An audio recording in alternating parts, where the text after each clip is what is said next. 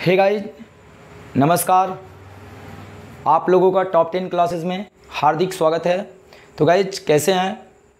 चलिए, उम्मीद करते होंगे कि आप लोग अच्छे होंगे और अच्छे होंगे और स्वस्थ होंगे और क्लास के सेशन को आनंद लेते होंगे। ज्वाइन करके इसको पढ़िएगा आप लोग। तो आज की क्लास में हम लोग चर्चा करने वाले हैं। आज के लेक्चर में चर्चा करने वाले हैं। किस टॉपिक की, कि जब वस्तु वक्रता केंद्र और मुख्य फोकस पर हो तब प्रतिबिंब कहाँ बनेगा? और जब वस्तु मुख्य फोकस पर हो, तब प्रतिबिंब कहाँ पर बनेगा? तो इन दोनों स्थितियों की हम लोग देखेंगे कि आखिर प्रतिबिंब कैसा बनता है। क्या बड़ा बनेगा? क्या छोटा बनेगा? सारे क्वेश्चनों का जवाब आज आपको यहाँ पर मिल जाएगा आज के लेक्चर में। आप लोग जान जाएँगे कि किसी अवतल दर्पण के सामने जब वस्तु को हम लोग सी और एफ़ के बीच में रखते हैं, तब प्रतिबिंब कहाँ बनेगा? और एफ़ पर तो ला, वीडियो के अंत तक बने रहिएगा, कहीं मत जाइएगा क्लास को छोड़कर, नहीं तो आपके इन दोनों प्रश्नों के जवाब छोड़ जाएँगे गाइज़ तो आइए क्लास को स्टार्ट करते हैं। स्टार्ट करने से पहले चैनल पर नए होंगे तो चैनल को सब्सक्राइब कर लीजिएगा और दोस्तों के साथ शेयर क्लास को शेयर कर दीजिएगा। आइए तो देखते हैं जब वस्तु कहाँ पर हो, वक्रता केंद्र और मुख्य फोकस के बीच रखी हो तो वस्तु का प्रतिबिंब कहाँ बनेगा? तो भैया, सबसे पहले आप लोग क्या बनाएँगे? एक अवतल दर्पण बनाएँगे। जो बाहर की तरफ़ क्या होता है? कलई होता है। जो बाहर की तरफ़ पॉलिश होता है, जो बाहर की तरफ़ पेंट होता है, वो दर्पण कौन सा दर्पण कहलाता है? अवतल दर्पण कहलाता है। तो ये हो गए अवतल दर्पण कौन दर्पण हो गए? अवतल दर्पण। ठीक, ये हो गया अवतल दर्पण। फिर हम लोग क्या बनाएँगे? मुख्य अक्ष बनाएँगे। क्या बनाएँगे? मुख्य अक्ष बनाएँगे। बना लिए मुख्य अक्ष। ये हो गई इसके ध्रुव। ठीक, और इस लाइन को आप लोग जान गए हैं मुख्य अक्ष होता है। फिर उसके बाद यहीं पर कहीं क्या होता है? मुख्य फोकस स्थित होता है। फिर उसके बाद यहाँ कहीं होता है, वक्रता केंद्र होता है। इस बार वस्तु को कहाँ रखना है? जब वस्तु वक्रता केंद्र और मुख्य फोकस के बीच रखी हो तो इस बार वस्तु को हम लोग कहाँ पर रख देंगे? यहाँ पर रख देंगे। वस्तु वही ए और क्या है? बी है। इस बार सी और एफ़ के बीच में है। वक्रता केंद्र और मुख्य फोकस के बीच में है। तो सबसे पहला नियम लगाएँगे भैया। मुख्य अक्ष के समांतर चलने वाली प्रकाश किरणें। मुख्य अक्ष के समांतर चलने वाली प्रकाश किरणें दर्पण से टकराने के पश्चात, दर्पण से टकराने के पश्चात कहाँ से होकर जाती है?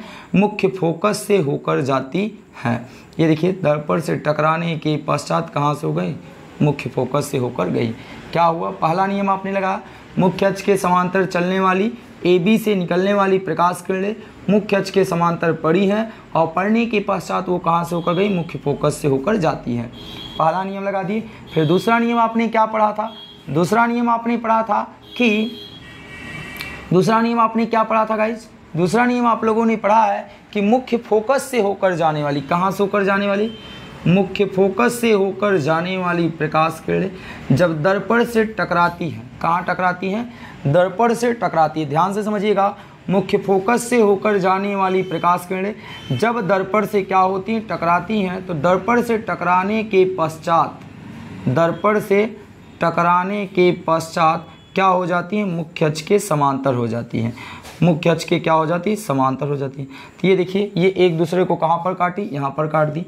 तो आप गाइज़ पहले नियम समझिएगा। हमने क्या लगाया पहला? मुख्य अक्ष के समांतर प्रकाश किरणें गई। तो कहाँ से होकर गई? मुख्य फोकस से होकर गई। फिर दूसरा नियम क्या हमने लगाया कि मुख्य फोकस से होकर चलने वाली प्रकाश किरणें दर्पण से टकराई मुख्य अक्ष के समांतर हो गई। तो ये देखिए, एक दूसरे को यहाँ पर काट रही हैं। तो एक दूसरे को जहाँ पर काटी, वहीं वस्तु का क्या बन जाएगा? प्रतिबिंब बन जाएगा। तो ये देखिए जो प्रतिबिंब बना तो इस प्रतिबिंब को मिलाते हैं जहाँ एक दूसरे को काटे हैं। तो जो दूसरे को काटे हैं तो ये पॉइंट क्या है? बी है तो ये पॉइंट क्या हो जाएगा? बी डैश और ये पॉइंट ए डैश हो जाएगा। तो गाइस देखिएगा, वस्तु आपका इतना छोटा था, वस्तु आपका इतना छोटा है, प्रतिबिंब इतना बड़ा बना है, वस्तु इतना छोटा, प्रतिबिंब इतना बड़ा तो प्रतिबिंब क्या होगा? बड़ा बनेगा। क्या होगा भैया? बड़ा बनेगा। फिर प्रश्न उठता है, कहाँ बनेगा? तो भाई, वक्रता केंद्र के पीछे बना है। कहाँ बना है? वक्रता केंद्र के पीछे बना है। और इधर आपने याद किया था, इससे पहले वाली स्थिति में इधर दूरी क्या होती है? अनंत होती है। इधर की दूरी क्या होती है? अनंत होती है। तो भाई, हम ये बता सकते हैं कि जो प्रतिबिंब है, वो अनंत और वक्रता केंद्र के बीच बनेगा। कहाँ बनेगा? अनंत और वक्रता केंद्र के बीच में बनेगा। बड़ा बनेगा, अनंत और वक्रता केंद्र के बीच में बनेगा। ये बातें क्लियर हुई गाइज़ अगला, क्या बना है? उल्टा बना है। क्या बना है? उल्टा बना है और दर्पण के सामने बनेगा तो वास्तविक बनेगा। इतनी चार चीज़ें लिखना तो पहली पॉइंट क्या लिखेंगे? प्रतिबिंब। प्रतिबिंब, ठीक? प्रतिबिंब वस्तु से वस्तु से बड़ा बनेगा। क्या बनेगा? बड़ा बनेगा। ठीक? ये बातें क्लियर हुई। दूसरा पॉइंट आप क्या लिखेंगे? दूसरा पॉइंट क्या लिखेंगे? जो प्रतिबिंब है, वो कहाँ बना है?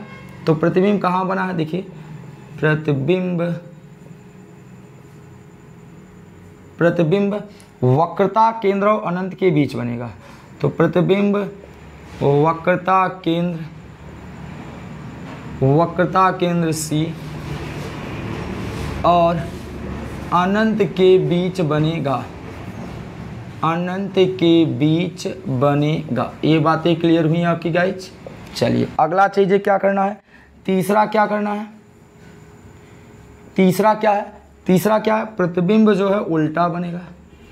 क्या बनेगा? प्रतिबिंब उल्टा बनेगा। और चौथा पॉइंट क्या है? चौथा पॉइंट है, प्रतिबिंब क्या बनेगा? वास्तविक बनेगा। क्या बनेगा?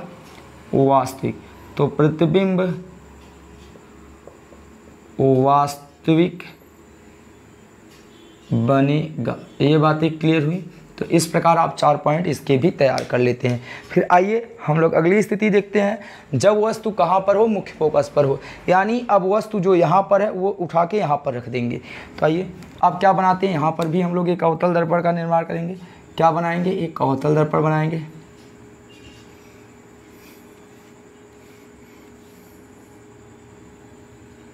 ठीक, एक अवतल दर्पण बनाते हैं। ये आपका अवतल दर्पण हो गया, जो बाहर की तरफ़ कलई किया जाता है, बाहर की तरफ़ पेंट किया जाता है, वो कौन सा दर्पण होता है? अवतल दर्पण होता है, ठीक? अब उसके बाद हम लोग क्या बनाएँगे? एक मुख्य अक्ष बनाएँगे। क्या बनाएँगे? एक मुख्य अक्ष। तो हम लोग इस पर एक मुख्य अक्ष का निर्माण कर देते ये इस पर क्या होता है? ध्रुव होता है, ठीक? उसके बाद क्या होता है? यहीं कहीं क्या होता है? मुख्य फोकस होता है। यहाँ क्या होता है? मुख्य फोकस होता है। और यहीं कहीं क्या होता है? वक्रता केंद्र होता है। ये बातें ज़रूर क्लियर कीजिएगा। कि ये मुख्य फोकस हो गए, ये क्या हो गया वक्रता केंद्र हो गए। ठीक गाइज़ ये आपका वक्रता केंद्र है, ये आपका मुख्य फोकस है। तो वस्तु को कहाँ पर रखना है? मुख्य फोकस पे रखना है। तो इस बार वस्तु कहाँ रहने वाला है? मुख्य फोकस पे रहने वाला है। तो इस बार वस्तु यहाँ पर रख दिए तो वस्तु ये हो गया ए और बी ठीक? आप पहला नियम लगाइए। पहला नियम क्या लगाएँगे? मुख्य अक्ष के समांतर चलने वाली प्रकाश किरणें क्या नियम लगाए? मुख्य अक्ष के समांतर चलने वाली प्रकाश किरणें जब दर्पण से टकराती हैं तो दर्पण से टकराने के पश्चात कहाँ से होकर जाती हैं? देखिएगा गाइज़ फिर से एक बार। दर्पण से टकराने के पश्चात ये कहाँ से होकर जाएँगी? मुख्य फोकस से होकर जाती। है कहाँ से होकर जाती है? मुख्य फोकस से होकर जाती हैं। ये आपने पहला नियम लगा दिया गाइज़ ये आपने क्या लगाया? पहला नियम। पहला नियम क्या है? कि मुख्य अक्ष के समांतर चलने वाली प्रकाश किरणें दर्पण से टकराने के पश्चात, दर्पण से टकराने के पश्चात मुख्य फोकस से होकर जाती है। थोड़ा सा ये लाइन आपका ज़रूर टेढ़ा हुआ है। आप इसे ज़रूर आगे बढ़ाएँगे। तो बढ़ाएँगे तो आपका कुछ इस प्रकार आएगा। देखिए। ठीक, चलिए। तो आप लोग स्केल से बनाएँगे तो आपको टेढ़ा नहीं दिखेगा। ठीक गाइज़ तो ये मुख्य फोकस हो गया। फिर आप दूसरा नियम क्या लगाएँगे? दूसरा नियम क्या लगाएँगे? आपने पढ़ा था, वक्रता केंद्र से होकर जाने वाली। तो भाई साहब, ये देखिए, ये कोई प्रकाश किरण वक्रता केंद्र से होकर गई। तो वक्रता केंद्र से होकर जाने वाली प्रकाश किरण जब दर्पण से क्या हुई? टकराई। तो दर्पण से जब टकराई तो ये दर्पण से टकराने के पश्चात क्या हो जाएगी? मुख्य अक्ष के क्या हो जाएँगी? समांतर हो जाएँगी। ये क्या हो जाएँगी? मुख्य अक्ष के समांतर हो जाएँगी। तो ये मुख्य अक्ष के क्या हो गई? समांतर हो गई। तो ये आप किरणों को आगे बढ़ाओगे तो ये ज़रूर कहीं ना कहीं आगे जाके मिल जाएँगी। अब पता नहीं कहाँ मिलेंगी।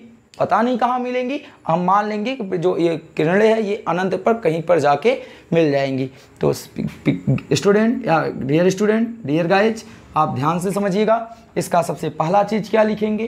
पहला पॉइंट हमने क्या नियम लगाया है? कि मुख्य अक्ष के समांतर प्रकाश किरणें जब दर्पण से टकराई तो कहाँ से होकर गई? मुख्य फोकस से होकर गई हैं। दूसरा नियम क्या लगाया? वक्रता केंद्र से होकर जाने वाली प्रकाश किरणें उसी मार्ग में वापस लौट आई हैं।